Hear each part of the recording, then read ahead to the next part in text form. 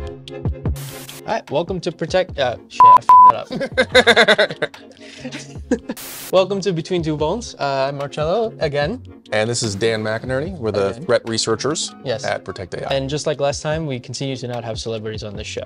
Actually, fresh off the press, celebrities are actually banned from the show now. yes. So, Bruce Right. Springsteen, uh, f- off with your invites.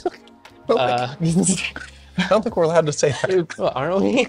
So Okay. we're going to go over the month's top reports from the vulnerability report. And we have a whole bunch of interesting practical ones this week, this month. Uh, one of the most interesting is this one. It's in Hugging Face Transformers. So Hugging Face Transformers is a library that Hugging Face puts out for doing all kinds of different stuff with models. It's, it's, um, there's lots of stuff you can do. The issue in this one is that ragretriever.fromPretrained is a function in Transformers that goes and fetches a model from Hugging Face. So the way it works is ragretriever.fromPretrained will go download a model from Hugging Face. Now, so you, if you can trick someone into downloading your malicious model that looks legitimate on your Hugging Face repo, then there's an issue with how it parses the configuration file that it downloads. So it's going to go out, it's going to reach the repo that you think is safe because it looks safe, but the config.json file is actually going to point to a malicious repo. And that malicious repo is the one that you're actually going to be downloading the model from. Hmm. So an attacker sets up two repos, one real looking, one malicious. They give you the real looking, real looking one. Correct. English is hard. I know. Yeah, yeah. and then you download the malicious file because of how the configuration is parsed. So this is a really interesting one because he actually found a way to try and make it wormable too. Wormable might be a strong word, um, but if the person has write access to Hugging Face, who downloads your malicious model, they can actually upload another version of this malicious to repo attack. Okay. And so this is Peng Zhu, who uh, also, if you want to see some good reports and figure out how to make proof of concepts and stuff that make our lives easier, go ahead and read his reports. They're Yeah, really good. Bing Zoo is like the O- one of the OGs, I think. Too, Yeah, right? he's been around Uh, for a long time. Yeah, yeah. For a while, and Tr- Hugging Face fixed this by implementing an environment variable. I think, at least according to the comment they made, um, which is interesting. I'm not exactly sure, like, how that fits in here. I don't completely understand like the full flow of things, but apparently they implemented a trust remote code environment variable to fix this so that like whenever you download something with the command line tool with the Hugging Face model, uh, basically it just doesn't automatically pickle it, which Yeah. I think is an interesting fix. Uh, should Yeah, good for them for responding quickly. yeah, yeah, they responded quickly. Hugging Face always does. So yeah, shout out to Hugging Face for that. We've got a bunch of local file includes again. Local file includes are really, really popular uh, in the bounty program because it's really difficult to do file parsing and reading and writing Yes. without having some kind of weird little caveat that you got to like think about, like the URL parser, for yeah, instance, URL which is what's parsing. happening here. Yeah, exactly. And this one, an, uh, another, it's another uh, MLflow local file include by Mizu. A shout out to Kevin Mizu, who always, who really likes to pick on MLflow a lot. Also, shout out to MLflow because they've been inundated with our reports and they've been fixing every single one of them. So huge shout out to them. Um, but basically, this one is uh, yet again a uh, URL parsing confusion bug, basically, uh, which uh, Mizu found that basically MLflow interprets URLs using the uh, URL parsing Python library, and uh, URL parsing really isn't a secure URL parsing implementation. It gets so confusing Um, yes. to parse URLs. And I was actually looking into this. I'm not exactly sure if there's even a secure URL parsing library Yeah. for Python that doesn't like that that actually is Yeah, it doesn't have these weird side doesn't have- issues yeah, with and the like nuances. So I'm not exactly sure what the fix would be here. To be perfectly honest. Yeah, I mean they Um, fixed it. We just didn't look at the fix. Yeah, we didn't look at the fix. To be perfectly Very fair. prepared. Yeah, yeah. Uh, but but but I think the ideal situation would be here to use a framework that, or use a web framework that actually interprets URLs securely, like the Django. But with MLflow, I think it's a little more complicated than that because they support like different like non-web based URLs. Right, like that's what makes it so URLs. complicated. Yeah, that's what makes it so S3 complicated. URLs Yeah, and like all these crazy things. So and so like, like, yeah. you know, a question mark in the wrong place, a bunch of slashes and then a question mark is Yeah. gonna screw up some of these URL parsers. And depending on the URL parsing library you use, it has different nuances. Like like JavaScript's URL parsing and stuff works differently than Python's URL parsing. There's different examples. It's it gets really messy, and that's why we're seeing all these LFIs. Yeah, LFI is by far like the most common thing that we see on uh, on all the huntr reports. I Yeah. think, by far. So we've done some really cool practical attacks this month. Yes. Uh, keyword is practical. Yeah, I want to underline practical for all of the people submitting bug bounty reports on huntr.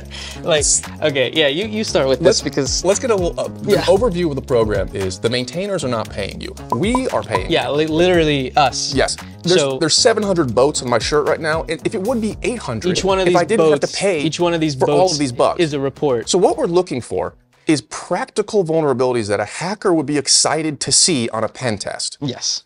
And we don't want to give out spamming maintainers with every single report that's like local library command injection that Oh. is only exploitable in the worst, least likely architecture design choices. To be fair, okay, okay, let- let's let's clear let's clear this up. So local command injection is valid, is a valid thing. Mm-hmm, Yeah.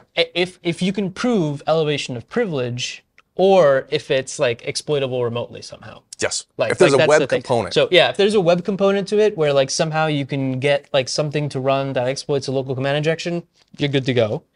Uh, if you can demonstrate elevation of privilege of it, maybe there's like something running in a different security context that you can use to like elevate privileges. That's also you're good to go there. But if it's just a library it, that like a make file, wink wink. I know y'all are uh, out there like parse looking at make files for some reason, like and that's utility not script yeah and stuff. utility No, thank you. Yeah, that's not gonna. We're, we're going to close those. yeah, we're gonna Because we're we don't gonna- want the maintainers aren't going to care about that either. big old close button on that. So we may be a couple of dumb dums, but we are open source developers ourselves and red teamers for a long time. Exactly. Uh, so what we want to see is stuff that wouldn't bother us and that we'd be excited to see on a pen test. So, as the first guest, I'd like to welcome uh, Mr.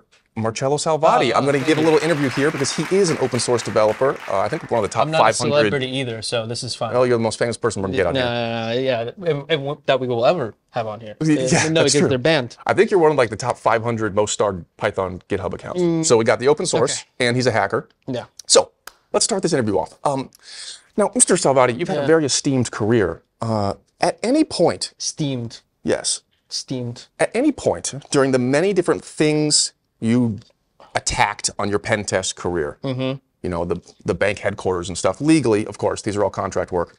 Uh, were you you ever clarifying that. Yes. Were you ever super excited to see a, a local command injection in a locally installed library with no remote components? Nah, no. yeah, see, open no. and shut case. There's no, No. more of these. No, we don't not- need those. I think part of the problem is like I, I I do understand like the like I do understand like you know you you you've been you know hacking on this one uh like bug report on huntr for you know hours and hours and you finally find like the this one thing that may or may not be a security vulnerability but you gotta actually like prove that it is a security issue before submitting on a huntr. That's the main thing. Yeah. uh, otherwise you're not gonna get paid. So like that that and, and again it's us two doing this. So you know, for all of our sakes, just please, you know, just just just it makes really us make very sure happy when it the makes us of very concept happy. is very good. Yes, like if you want to if you want to guarantee payout on huntr, you know, submit a proof of concept. You know, Better like Metasploit module. Yeah. Marcello here actually wrote an entire post on how to make Metasploit modules Yes. out of these. which we haven't published yet. Oh, yes. so, Okay. so when it, then that is published, I guess we'll link that down in the Yes, on the next Between Two Vulns, we Yeah, will yeah. have that link ready to go. yeah, yeah. yes, but yes, I did write. It's coming. It's coming. Uh, but you, I mean, it's, you can write a nuclei template or really anything. Like it doesn't matter. Just attach a proof of concept. Just Yep. don't don't skimp out of the proof of concept because otherwise, most of the time we're just gonna close this out. Um, that that that that's Yep. that's really is it. Um, and what else? I think that's basically it. For Yeah, I think that's uh, most of the Shout month's out to- issues. we shout out. We shout. We shout Mizu out and Pengzu. Pen, Pengzu. I hope we're saying those right. Honestly, we have no idea. Are they related? No. No, Oh, okay. Okay, never mind. I don't think so. Okay. They just end with zoo. Okay, all right, fair enough. All right.